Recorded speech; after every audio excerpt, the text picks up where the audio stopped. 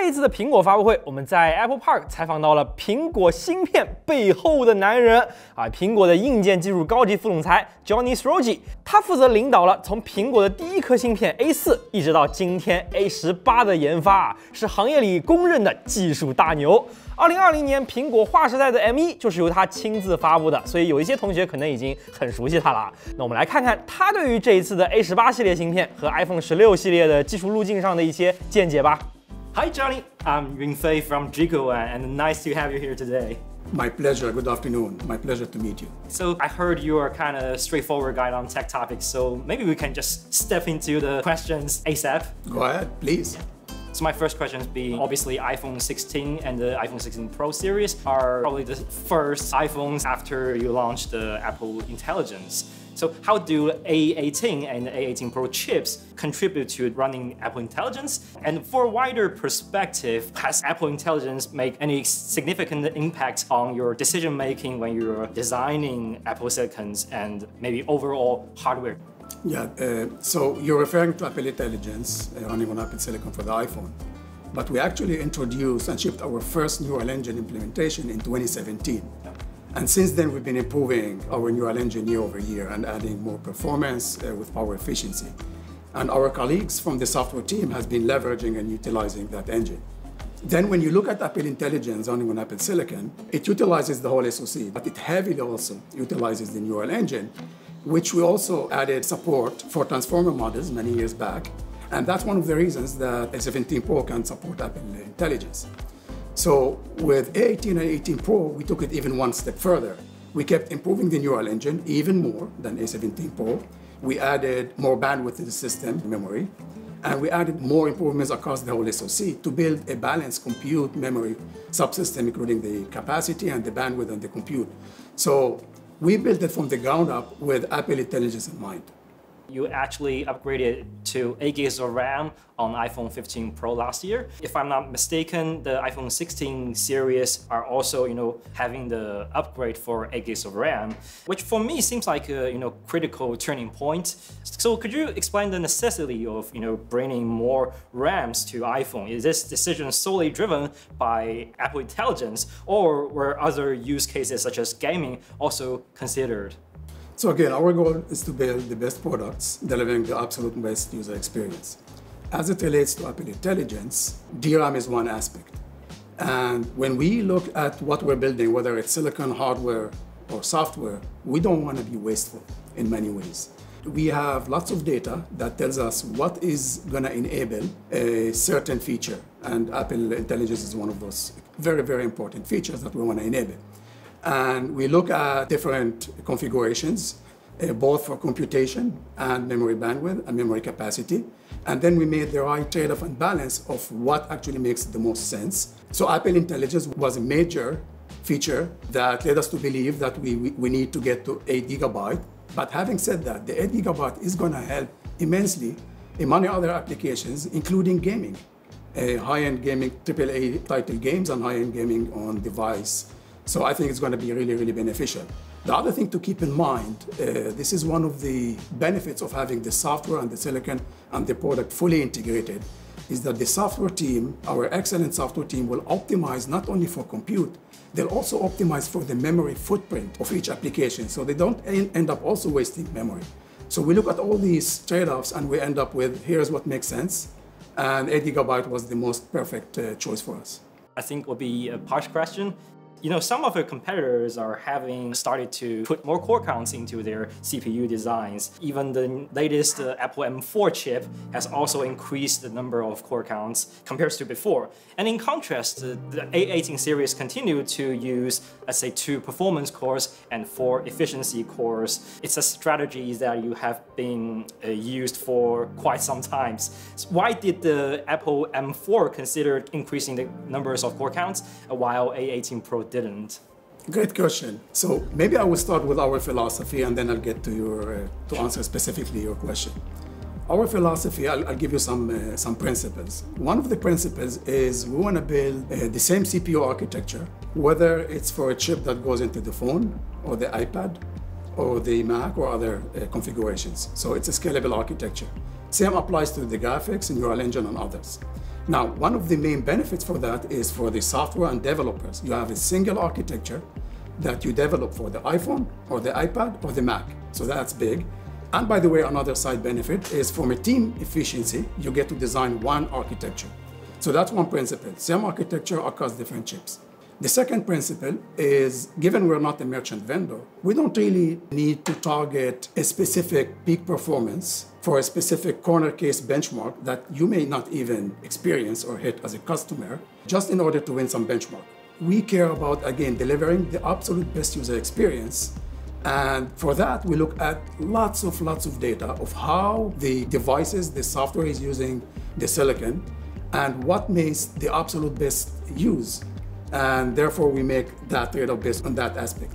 A third principle, which is important, is you want to deliver the absolute best performance, whether it's a CPU or graphics, but let's talk about CPU since that's your question, with the highest performance at the best absolute energy efficiency.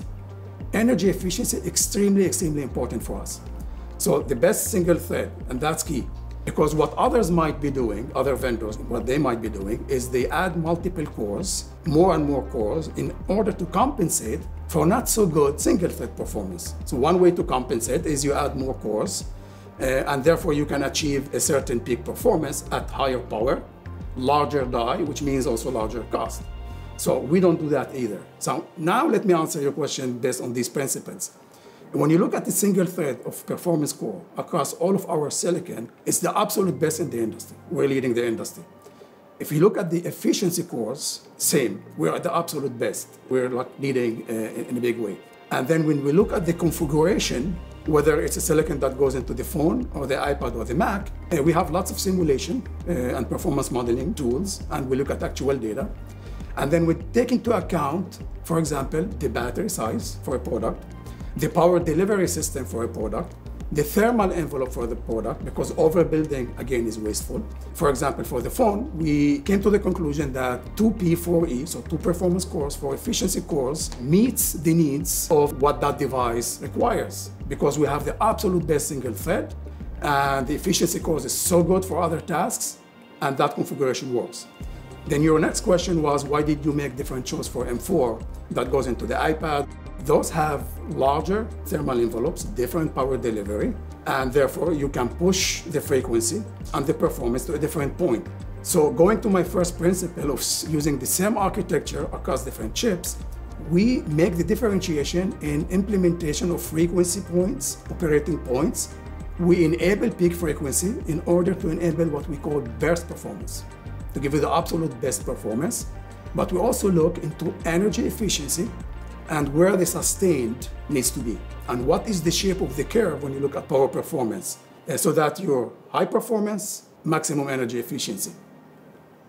Okay, so the next question is about the microarchitecture. You actually have a long period of time that the microarchitecture of A-series CPUs was steadily updated for A16, I would say. Uh, starting with uh, A17 Pro, you actually started to uh, widen the, your CPU cores. Uh, we saw a 9-wide decode on A17 Pro, and depends on the CPU upgrade we saw on Apple M4, I would say we expect the A18 series CPU to widen further. So my question is, is when you are making those decisions on CPU microarchitectures, you know, how PPA trade-offs are made. So my answer actually follows the same principle that I just covered, which is you want to design the best CPU for a certain silicon that goes into a certain product. And we have lots of data and performance modeling to tell us what configuration makes the best use in terms of highest power efficiency and performance. Obviously, we're not going to get into microarchitecture details on what plans we have in mind, but you can imagine we have a deep line of CPU microarchitecture,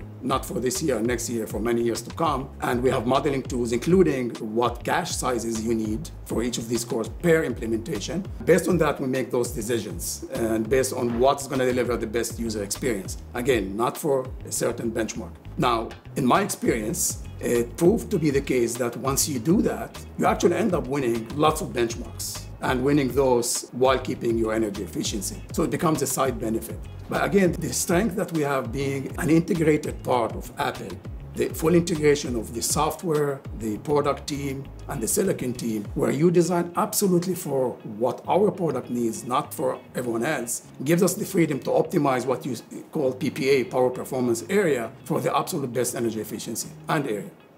It's science, but it's science combined with art. And you make the proper judgment calls based on tools and modeling of what actually going to deliver the best user experience. So it's both. Okay, so next question is about uh, gaming on iPhones. We saw developers bringing more and more AAA games to iPhone, but uh, obviously there are many inherent differences between mobile GPUs and desktop or console GPUs. Let's say typically mobile memory subsystem would be, you know, have much lower bandwidth. Mobile GPU rendering pipeline actually differs. Uh, for example, Apple's GPU are actually utilizing tile-based deferred rendering techniques instead of immediate rendering. And also software development pipelines are quite, you know, distinct. So I'm wondering what engineering challenges did you guys face when deciding to port these AAA games to iPhone and how were they addressed? And by the way, again, uh, following one of the principles I just covered, which is we want to build the same GPU architecture for all of our chips. For yeah. example, you can see that the GPU uh, architecture fundamentally that we built for the Mac and for the iPhone are very similar. The implementation are different, and we can get to that later. But the architecture is, is similar. And what that gives, again, to developers is they get to port or implement a game for the iPhone and the Mac, and it's the same porting. So that's great. And the fact that our GPU is so performing, that means that, for example, when you look at the phone, including 18 and 18 Pro, is that it has longevity, meaning you can, looking forward, for future games, it will be able to support those at really high performance, low power. Then when you look at different implementations, whether it's a phone or a Mac, this is where we make implementation differences. And uh, we're smart about how we do that during the implementation while keeping the architecture similar. And it's not only frequency and operating points, it's below that even, meaning a lower level of details. But in terms of the functional architecture is, is the same. Of course, you're working with different power delivery and thermal envelopes, which is why you can see that Apple Silicon chipping on a phone has different or less GPU cores than Apple Silicon chipping in a MacBook Pro. But the fundamental, what we call FSTP, the shaders, etc., are very, very similar. And then we operate at different points, again, to maintain energy efficiency. But the same great graphics you get all across we just talked about running games on iPhone, and also thermal management is a crucial factor for that. This year, you emphasized improvements on thermal management. So can you specifically talk about what changes you made for the thermal management, the iPhone 16 and the 16 Pro series? And could you talk through decision making and also how does it differs from previous thermal systems? Again, we build products and the idea is to deliver the best products. And it's not only about the peak performance for graphics at certain thermal envelope. And again, this is where my team and the product team work hand in hand ahead of time about what is the absolute best decision we can make at the product level. Of course, in terms of silicon, you want more thermals, you want bigger battery, but that has trade-off on other aspects. So we need to manage that piece. And we highlighted in the event this morning about some of the many thermal improvements that were made into the iPhone 16 series. And that obviously benefits the Apple Silicon that is enabling uh, those iPhones. But then you go back to the energy efficiency. The fact that we have the most energy efficient chips, it helps us. And again, when you don't chase peak performance at higher power and not so energy efficient versus sustained and bursty performance, you get to optimize for the overall system. Obviously, we can get a bit deeper into that. You, you guys already implemented, uh, uh, if I'm not wrong, aluminum plate inside the phone. Actually, in the industry, a lot of people are using, let's say, vapor chambers and other solutions. So when you are deciding new thermal solution, what kind of, let's say, mindset did you go through? What kind of factors do you consider? You know, again, the mindset is we want to deliver the best product, not necessarily one thing the best product optimized for the absolute best user experience. For example, you can deliver a better uh, thermal envelope if you have thicker devices, you use different materials. The example you gave is one more example, but that's one trade-off.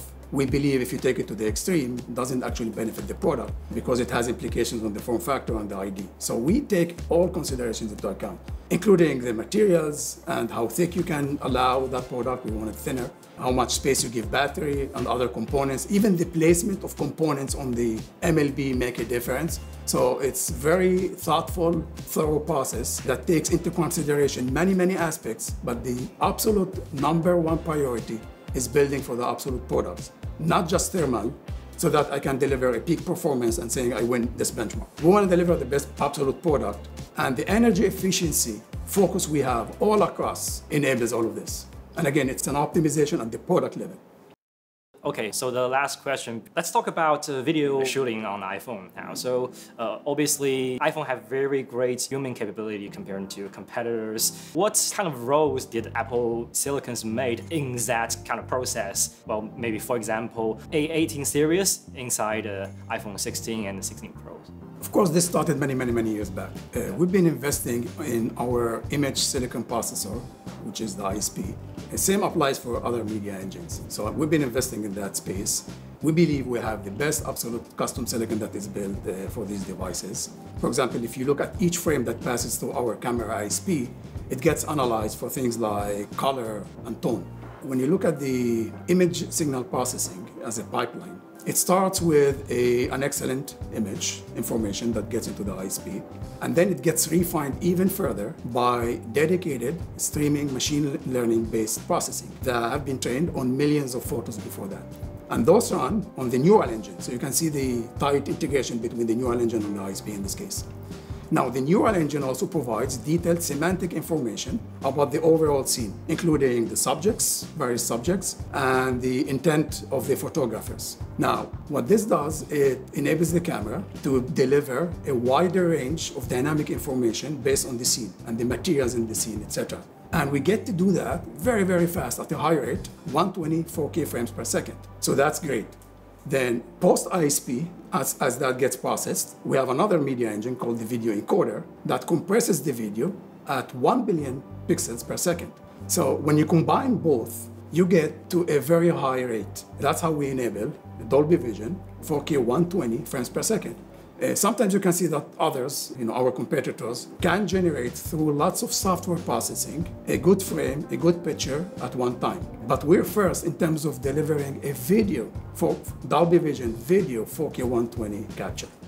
Um, and that's thanks to the tight integration of the silicon, different IPs, and the software, and the camera control. It's like the physics, camera control, and the silicon, including the ISP, they all work together. I think that's all the question we have today. So thank you. My pleasure. Thank you. Thank you.